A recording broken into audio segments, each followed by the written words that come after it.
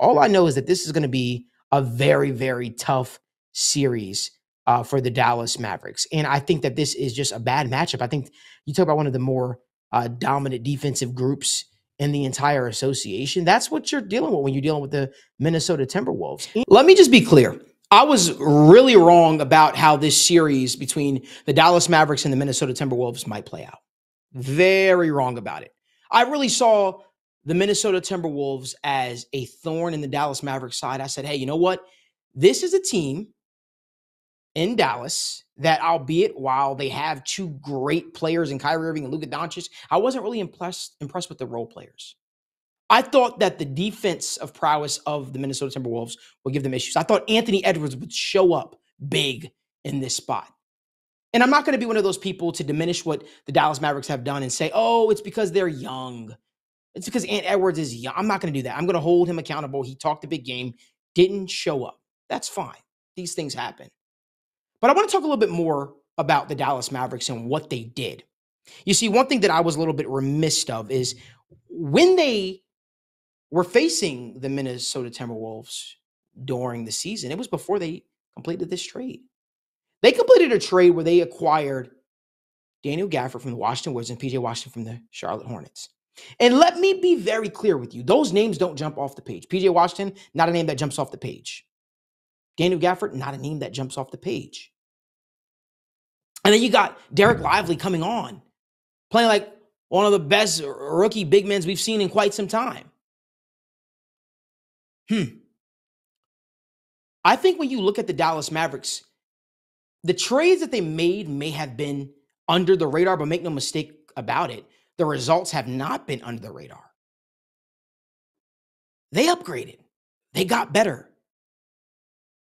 They acquired players that would contribute and contribute often and be solid guys for them.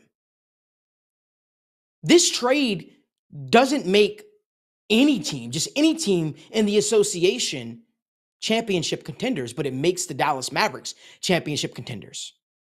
Why? Because it works for them. When you have a player like Luka Doncic who consistently makes the players around him better, and I don't want to disrespect Kyrie Irving. Kyrie Irving is great in his own right. Kyrie Irving is great with or without Luka. Certainly having Luka alongside him helps. But I'm talking about those role players that he have, right? You talk about the the uh, Daniel Gaffords, the PJ Washingtons, the Derrick Jones Jr., the Dante Exum. Those guys don't just go on a team and then become championship contenders because they acquire those guys. But when you have a guy like Luka Doncic who acquires so much attention, where defenses are literally collapsing on him when he has that ball in his hand because they're worried about what he might do. And in the midst of that, he's still able to get his own offense going, scoring 30 a night like he's done almost every single game of this series. But while also doing that, he's getting other players involved and getting the most out of them. Let's talk about what Luka Doncic is doing for these guys. You want to talk about what a franchise player looks like? You want to know why I made a video a couple months back where I said this guy should really be considered for the MVP? It's because look what Luka Doncic is able to do. Daniel Gafford, losing team on the Washington Wizards. Losing team on the Washington Wizards. Had games where he showed up and we're like, man, this guy could be special. PJ Washington, losing team, Charlotte Hornets. Inconsistent three point shooter. That was the tag he got. Comes on the Dallas Mavericks, contributes right away. Daniel Gafford comes on the Dallas Mavericks, contributes right away. He had a, a streak where he wasn't missing a shot or missing free throws. I forgot which one it, it was exactly. But you get these players on the Dallas Mavericks that are able to just execute. That doesn't just happen by chance. Luka Doncic makes the players around him better. And not just better by a small margin. He makes them solid contributors. It's the reason why they have a real shot to hoist their first. When I'm sorry, Luka Doncic has a, a shot to hoist, hoist his first NBA trophy this year because he gets the most out of those players. It's when you look at it, it's almost like it reminds me back when Jokic had Monte Morris and Willie Barton on his team, and he was still getting the most out of those guys. Now, obviously, they didn't really break through until Jamal Murray returned from his injury, but you look at it, kudos to the Mavericks front office. They built a team that You know, they get the, they literally built a team that gets the that Luka Doncic is able to get the most out of. They built a team that gets the that Luka Doncic is able to get the most out of.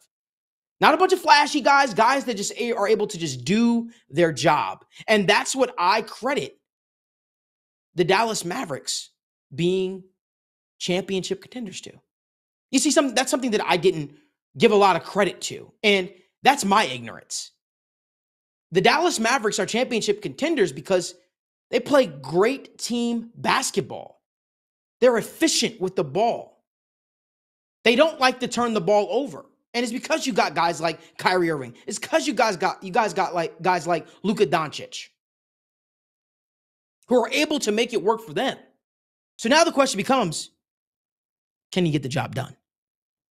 If you like more video content like this, give this video a like, subscribe to the YouTube channel, turn on post notifications so you guys don't miss when we go live or upload content from the in-home studio or the First Star Logistics studio.